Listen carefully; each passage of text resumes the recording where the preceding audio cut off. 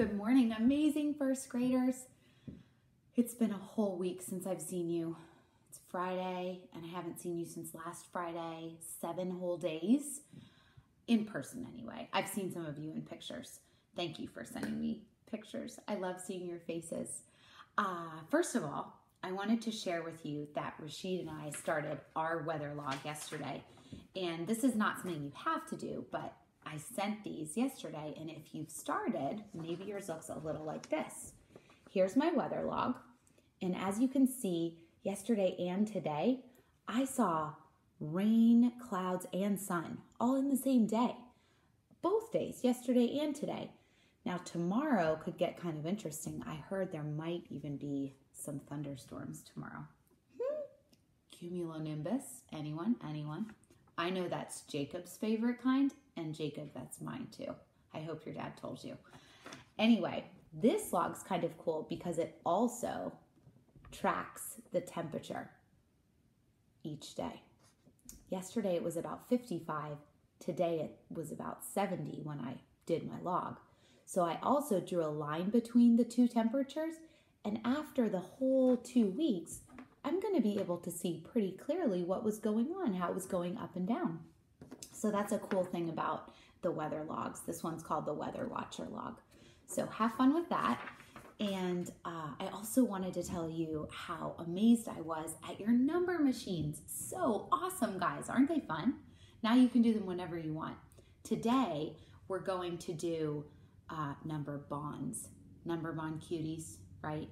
Um, and I thought I'd give us a quick refresher on that because the sheet I sent you today is just like the one yesterday for number machines, except it's number bonds. And again, we're getting pretty good with big numbers.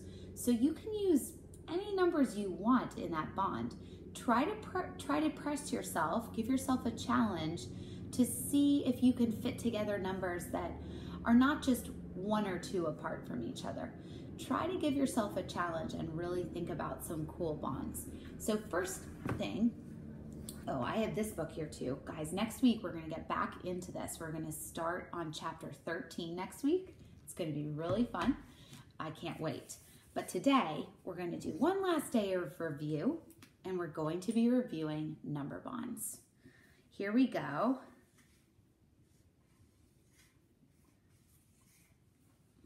Here's our number bond cutie.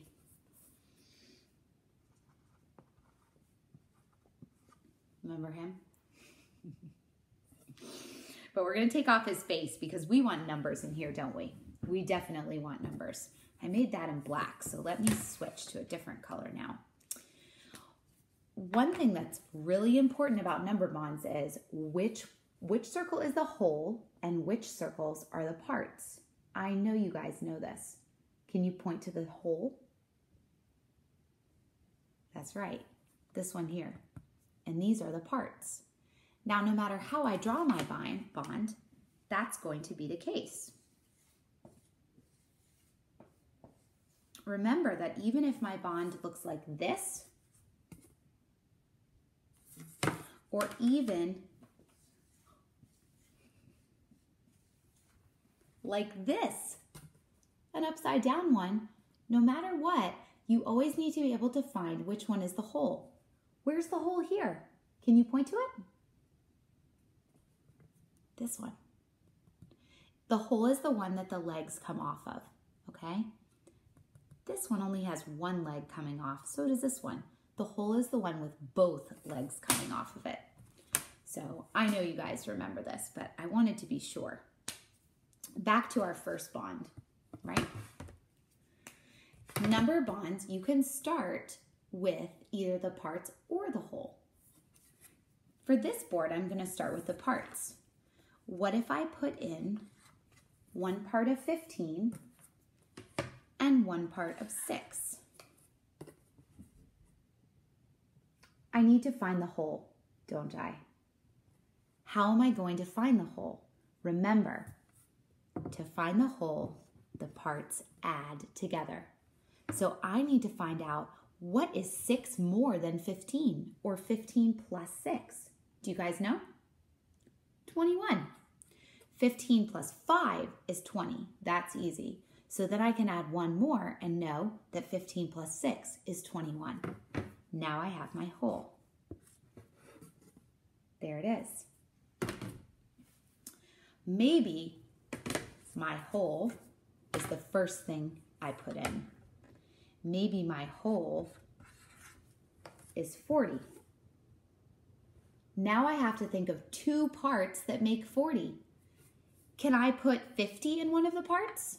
No, I can't. Both parts have to be smaller than the whole. Both parts have to work together to make the whole. You have to be able to add the parts together to make the whole. So, what if I put, this one's hard. What if I put 28 in the part? Oh, now I need to count up to 40 to find the other part. Well, I know that I could add 10 and be at 38, right? So if I count up two more from 38, I get to 40. 10 and 2 is 12, so the other part must be 12. This was a hard one, but I know some of you love to challenge yourselves with number bonds. 28 and 12 make 40. How can I check myself? I bet some of you remember. If the parts can add together to make the whole, then I can take away one part from the whole to get the other part. So I could check myself by saying 12 less than 40 is 28. Is that true? Well, 10 less than 40 is 30. And if I go down two more, that's 28. I must be right. Let's do one last one, a little less hard this time. I'll keep them flipped up this way. This time I'm going to start with, let's see, 32 in my whole. This one will be a little easier. See if you can solve it. I need two numbers smaller than 32. Hmm. If I decide to make one of my parts 22, then what will my other part be? Well, I can find that out pretty easily by saying count up from 22 to 32 or subtract 32 minus 22. I think it actually might be easiest for me to just think about going up from 22 to 32. I only have to go up how many? 10, right? You can use whatever numbers you like in your number bonds. I do want you to challenge yourself, okay? And have fun with it. There's just one sheet of that today. You have reading and you have your spelling quiz, which mom or dad or another older friend can give you. And that's pretty much it for the day. Besides, oh yeah, check your rain bags. So cool. In my um, email today, I sent you a picture of James's rain bag he actually has a cloud in it. Maybe you got one too. Really, really neat. Before I go, I have a story to share for, with you today called Home in the Woods. I picked this story today because it's about the passing of seasons, and all around me here, I see spring just exploding. I know you do too. We talked about birds yesterday. We've talked about the seasons. We're watching the weather. We're seeing it get warmer. This book is definitely about the seasons. This book is also about counting your blessings. Counting your blessings means being really thankful no matter what, even when things are hard. And that's a great message any day. So I hope you enjoy this, and then I hope you have a wonderful day. Home in the Woods by Eliza Wheeler.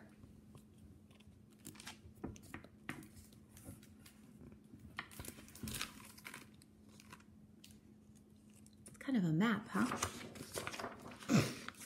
Home in the Woods by Eliza Wheeler.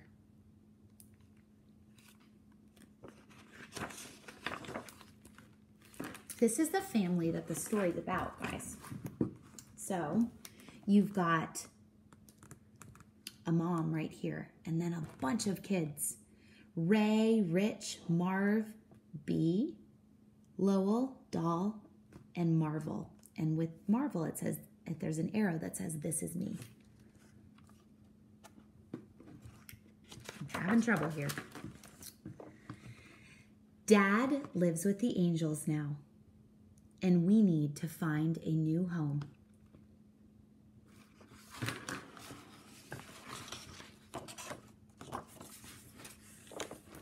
Summer. Deep in the woods, we find a shack all wrapped in tar paper. It's hot outside, but the shack looks cold and empty, like I feel inside. You never know what treasures we'll find, says Mom. Look at that place. Needs a lot of help. But Lowell and Ava find a door in the floor. Below is a root cellar filled with old glass jars, a tin pail, a pile of rags, and a pitcher pump that goes up and down, up and down, and out comes a stream of cool, clear water. Other than that, guys, there's not a whole lot here, is there? When the crystal rains fall, our seeds slowly take root. Some treasures take a little time, says Mom. The songs of happy frogs echo through the trees.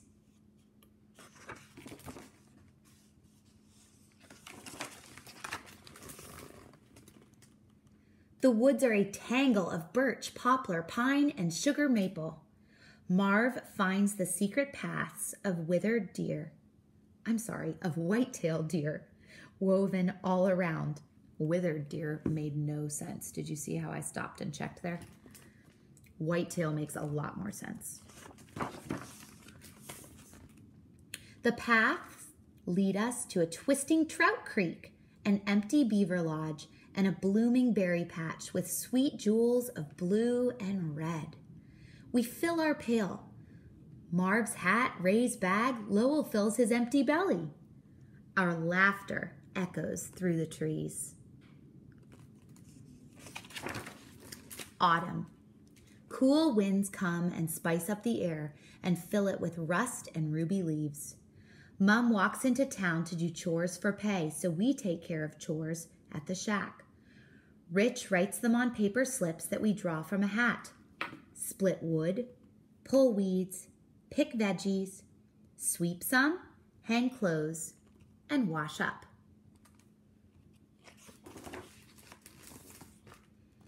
We fill the glass jars with Mum's berry preserves and the harvest from our garden. We'll save them for winter and stack them in the cellar like buried treasure.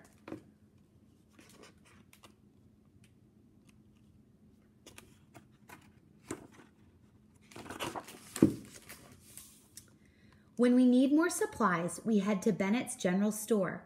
The windows are full of marvelous things.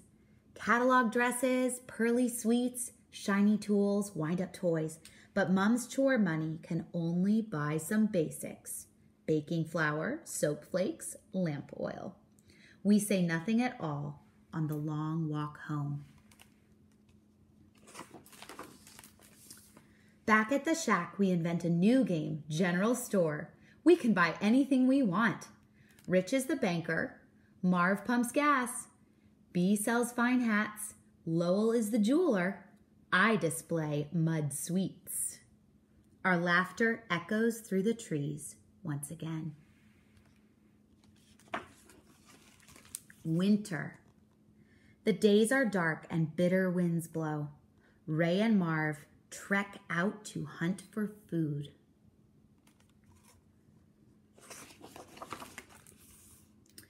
Bee huddles in the lamp's glow. Mum teaches her that scraps put together make colored patchwork. I huddle by the warm stove. Rich teaches me the letters that letters put together make words, and words put together make stories. Most days, Ray and Marv return from their hunt with nothing at all, but, to, but tonight they are proud and tall. We plunder our stores and Mom works the oven like magic. A feast for the kings and queens of the forest, Rich says. Soft loaf bread, baked green beans, wild turkey stew, and blueberry pie. Snow falls in a blanket of diamonds all around the shack. The jack pines sway above as we fall asleep close together, but Mum stays awake into the night, whispering to the stars. Spring! After many months, warm, fresh air comes pouring into the shack. The cottonwoods are all in bloom. Ma and Bee carry Mum's loaf bread and blueberry jam to the neighbor's farm. They fill our pail with milk and our hat with golden eggs. We go slow and careful on the path home. Bee calls out the flowers' names wood violet, dwarf iris, pink lady slipper, pitcher plant. The songs of happy birds echo through the trees.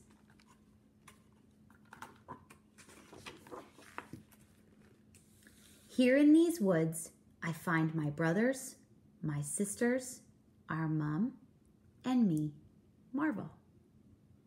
The shack, all wrapped in tar paper, looks different now, warm and bright and filled up with love, like I feel inside.